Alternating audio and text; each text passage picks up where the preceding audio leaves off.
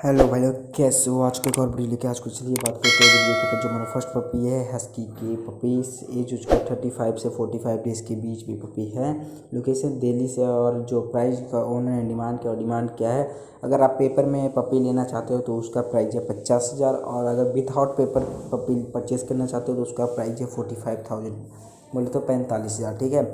और रहा बात ओनर कॉन्टैक्ट नंबर का तो वह मैं आप लोगों को स्क्रीन पर दे रहा हूँ, और मिलते हैं जल्दी नेक्स्ट वीडियो में, तब तक के लिए Bye bye.